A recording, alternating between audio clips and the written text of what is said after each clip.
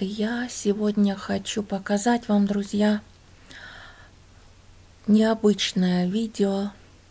Видео о новочеркасской трагедии 1962 года.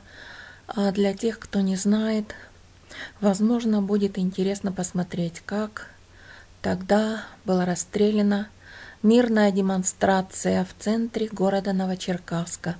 И, и как я оказалась живым свидетелем этих страшных кровавых событий. Ну, тогда, будучи еще ребенком семилетним, я, тем не менее, запомнила на всю жизнь те события. И когда я была э, в октябре 2019 года в своем родном городе в отпуске, на отдыхе вернее, э, я сняла Эту площадь я сняла для вас специально. Маленький музей, посвященный этому событию, мемориальную доску, камень, ну и все, что там существует вокруг. И немножко вам рассказала о том, как я это все помню и что я видела тогда. Итак, давайте, друзья, посмотрим.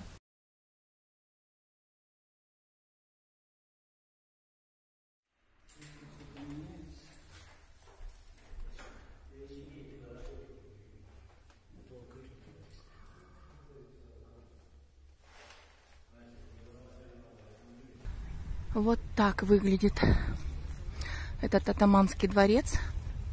Раньше это было э, горком партии, горком КПСС. И это именно то место, в котором расстреляли новочеркасских демонстрантов в 1962 году. Вот здесь мы видим камень, посвященный этой страшной дате 2 июня 1962 года.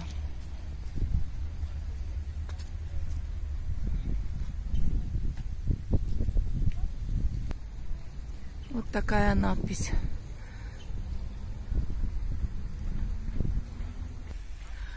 Сейчас эта площадь засажена туями. Разбиты здесь дорожки. Сделан такой тоже скверик небольшой. И вот фонтан перед этим атаманским дворцом. Конечно же, раньше это все выглядело не так. Здесь была просто открытая площадь а, перед горкомом партии. И вот на эту площадь пришли рабочие НЕВЗа, Новочеркасского электровозостроительного завода, а, высказать свои претензии, требования.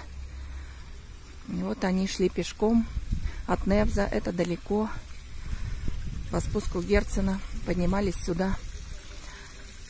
И вот, когда они подошли, они довольно долго ждали.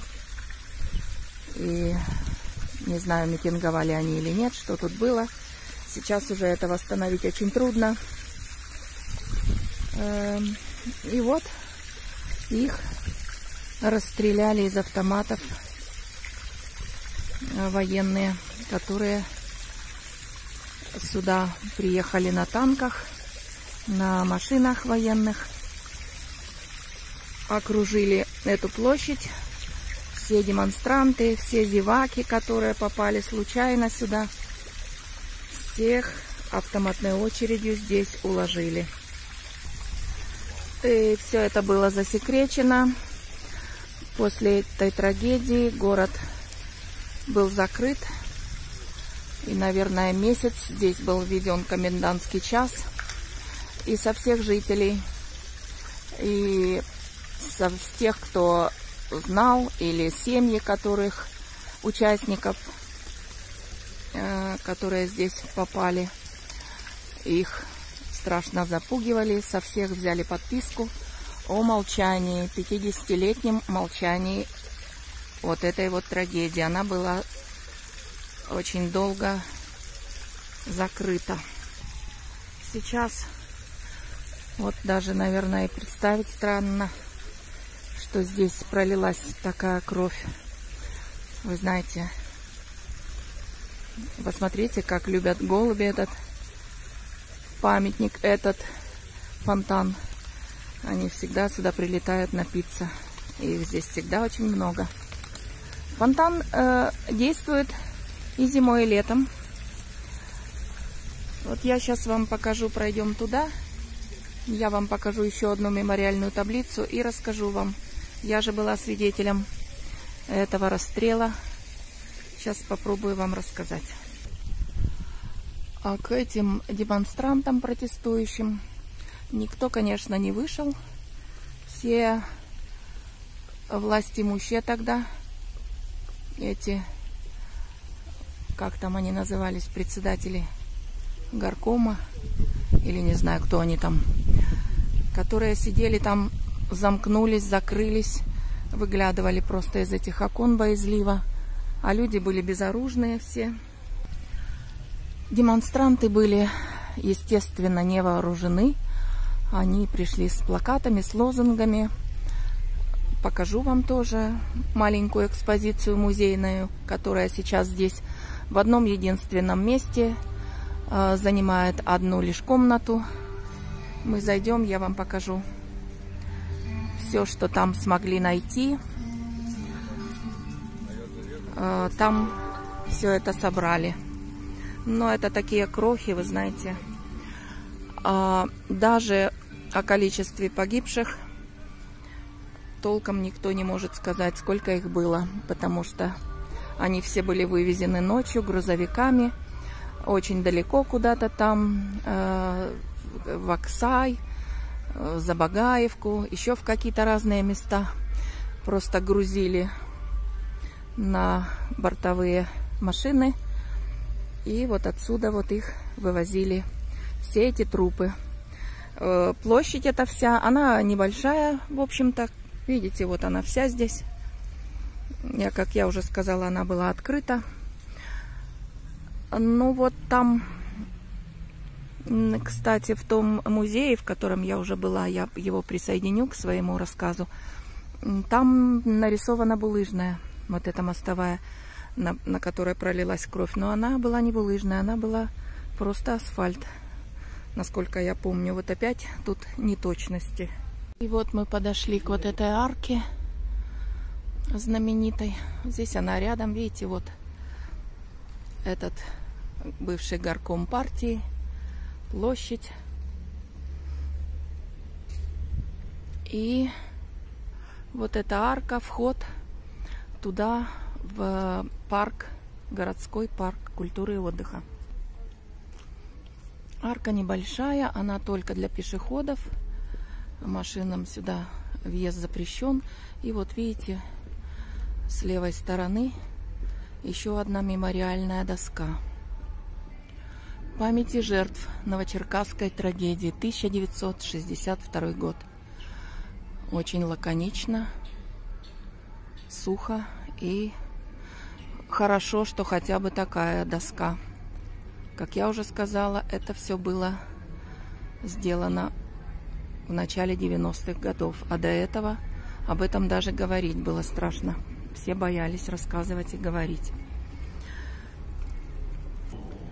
А вот что помню я из этого дня ужасного трагедии расстрела. Вот здесь, почему я остановилась, именно в этой арке, потому что мы с сестрой в 62 году мне было 7 лет, сестре было 9, маленькие дети. Мы ходили через весь город к бабушке. Бабушка жила вот туда вниз по спуску Разина, вот через парк. И мы по этой дороге ходили к бабушке и ходили назад э, довольно часто. И вот как раз в тот день, в день расстрела, пошли к бабушке утром. И мы прошли через эту площадь. И у бабушки мы находились часа 4 или 5. Когда мы проходили через эту площадь утром, здесь, естественно, никаких демонстрантов еще не было. Они шли э, по спуску Герцена и еще подходили только. А когда мы уже посидели у бабушки долго, вот как раз все произошло. Представляете, мы были буквально здесь в шаге от смерти. Когда мы шли обратно, это, наверное, было часа 4 вечера, э, мы подходим, вот здесь стоит танк. Он заехал огромный в эту арку, перегородил дорогу для людей. Уже, так я понимаю, там были расстреляны люди, и все было перегорожено. И мы подошли сюда. Естественно, мы испугались, почему здесь танк стоит, но не поняли. И стали вот так вот по стеночке, по стеночке проходить мимо этого танка, протискиваться, идти своей дорогой, как говорится. Ну и, и на нас закричали военные, вы куда? Мы заревели, что мы идем домой, нам нужно домой. Они говорят, идите в обход. Вот я, к сожалению, знаете, не помню, э, наверное, что мы ничего не видели. И, скорее всего, что это было именно уже вот, когда здесь эти груды убитых и лежали на площади. Вот. И мы заревели, сказали, что мы другой дороги не знаем. Этот солдатик, который сидел на танке, он пошел, позвал какого-то старшего, наверное. Прибежал старший, еще один военный. Он стал нам говорить, идите в обход, мы ревем, мы не знаем обхода. Ну и нам, э, он, он приказал, там позвал какого-то солдатика, вероятно, и попросил его, чтобы он нам быстренько в обход нас отвел. И солдатик схватил нас за руки и вот этой вот, вот дорогой обратно через парк побежал. Мы за ним бегом, ревем, ничего не поймем. Я помню только, что у него руки были все мокрые и тряслись, наверное, от страха за содеянное. И туда, в общем, завернули налево по аллейке, побежали. И, и очень странно оказалось, что нам навстречу бежали зареванные наши родители которые, конечно же, уже узнали о том, что здесь произошло, что здесь люди э, были расстреляны страшным образом. И они узнали, что мы пошли к бабушке и знали, что мы пошли именно этой дорогой. Естественно, там паника, и с мамой случилась истерика. И вот они, э, она позвонила отцу, прибежал отец, и они побежали нас искать. Их, естественно, на площадь тоже не пустили, они побежали вокруг. И вот мы столкнулись здесь они ревут, мы ревем, бросились обниматься. Этот солдатик побежал обратно, конечно же. Вот. Ну, а мы просто чудом избежали вот этой вот страшной трагедии. То есть, понимаете, да, что все это было рядом. И что если бы мы попали, когда сюда подошла эта процессия демонстрантов на площадь, здесь было очень много зевак, как я уже сказала, здесь было очень много детей, и, естественно, детям интересно, все остановились. Дети, открыв рот, смотрели, чем же это закончится. То есть получилось, что добрый ангел спас и меня, и сестру. Я почему вам рассказываю об этом так подробно? Ну вот, потому что эти сейчас события пытаются восстановить. Какой-то сделали небольшой музей, но там сказано, что, по-моему, 26 человек всего было убито и сколько-то ранено. Там их портреты покажу вам. Ну вот знаете, это неправда. И все говорят о том, что это неправда. До сих пор почему-то правда полностью не открывается для людей. Вот такая ужасная трагедия произошла. Очевидцев сейчас, наверное, осталось совсем единицы те, кто помнит эти события. Поэтому я, так как уже попала сюда, я вам это конкретно все и показываю. Вот видите, опять написано здесь, на площади, перед зданием горкома КПСС 2 июня 1962 года по директиве руководства СССР и ЦК КПСС была расстреляна мирная демонстрация рабочих Новочеркасска. Вот так. Музей памяти Новочеркасской трагедии. Никто, говорят, а, серьезно ответственности не понес. До сих пор не знают, кто отдал приказ открыть стрельбу. Это было во времена правления Хрущева, как вы знаете. Как рассказывают очевидцы, которые еще помнят эти события, что здесь, после того, как этих убитых вывезли грузовиками в неизвестном направлении и закопали, просто покидали в огромную яму, вырытую наспех бульдозером, и закопали в неизвестных местах. Так вот, э, здесь была вся эта площадь э, залита кровью. И попытались ее смыть бронзбойтами с пожарных машин. Прислали э, несколько пожарных машин, стали с бронзбойтов смывать вот эту вот кровь водой, но она въелась так, что смыть ее было без остатков невозможно. И поэтому вот, чтобы замести следы ночью, эта площадь, как я уже сказала, была перекрыта полностью, когда смывали кровь отсюда и когда вывозили убитых. И потом они решили, что если они не могут смыть кровь просто водой, за ночь здесь переложили асфальт. То есть вот на, на асфальт, который был залит кровью, положили новый асфальт. Все разровняли, закатали. И уже на следующий день никаких следов здесь этой жуткой трагедии распознать было невозможно. Говорят также, что э, ведь были еще не только убитые и раненые здесь на площади – если легко раненые, то они, те, кто успели убежать, они вот все убежали туда. Все ломанулись бежать, когда началась стрельба. Вот именно вот по этой вот дороге, которую я вам сейчас показываю, через площадь туда вот на улицу Московскую, прятаться во всех ближайших домах, а, потому что стрельба продолжалась. И даже стреляли из танков. Но говорят, что из танков стреляли холостыми. Я это не понимаю. Не знаю, я только знаю, что все окна тут в близлежащих домах были выбиты. Так вот, а те, кто не смог убежать, но были не убиты, а может быть ранены или тяжело вот такая ранены, была страшная вот... трагедия.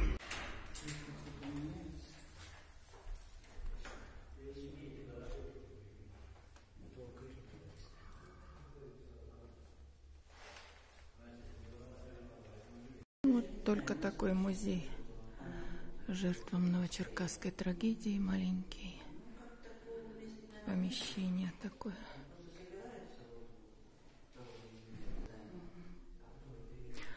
Практически информации никакой. На 500 человек и 5 дивизий было здесь. Это ж кошмар, это шум. На весь город столько, 5 дивизий. Из Ростова и еще. Информация-то где? Сколько? Сколько погибло, сколько что.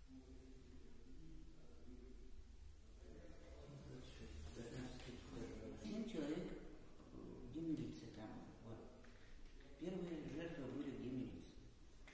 в день где?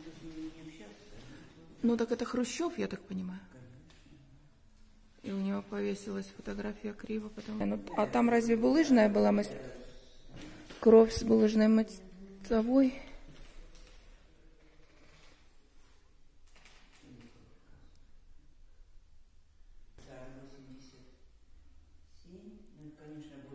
убитые, раненые. Вот это вот тех, кого посадили, как зачинщиков якобы этой забастовки.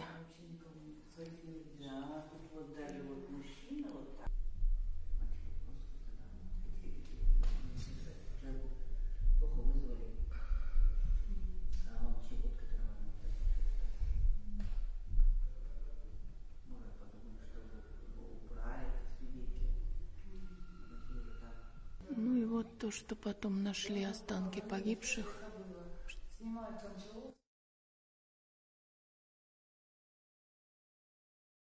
Вот перезахоронение останков, которые нашли потом.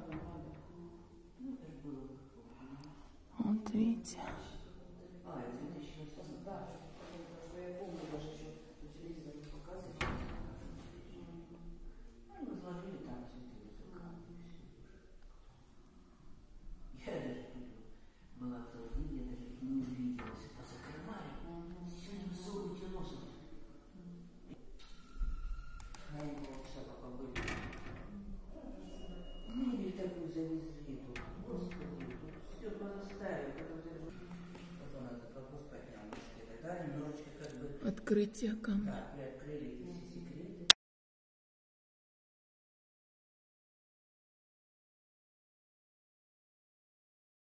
Да, Я хотела найти и э, распечатать вам этот документ, коротко о событиях 62 года, но, к сожалению, нигде не нашла, только здесь в музее. Поэтому те, кто хочет, можете остановить стоп-кадр и прочитать все, что здесь написано. Ну, здесь написано все очень коротко. И вот такой вот музей, как вы видели, совершенно маленький. А это видео уже мне прислали в этом году. Вот видите, те, кто знает город Новочеркасск, может сразу узнать и собор, и памятник Ермаку. И вот это вот центральная Московская улица, и по ней вот так вот проезжали машины с красными флагами СССР, которые сейчас забыты. А, довольно интересно для меня было это видео, и я хочу его вам также показать. С праздником Великого Октября!